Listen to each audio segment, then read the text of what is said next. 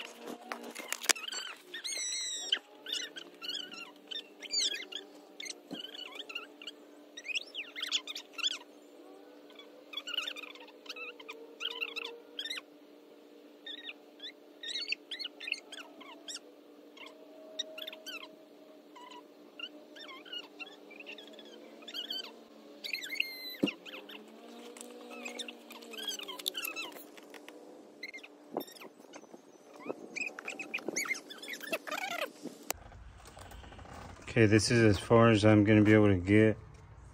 Uh, basically, the only thing left is to add the oil.